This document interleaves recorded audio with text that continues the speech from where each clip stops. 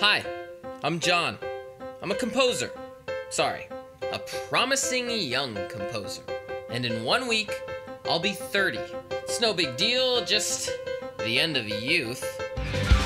They're singing happy birthday, you just want to lay down and cry. Lately, I keep hearing this sound, this ticking. Jon, you've got to chill. What if we just got out of here? Leave New York? Why not? If I want to write shows, I have to be here. What if the workshop doesn't go exactly the way you want it, Jon?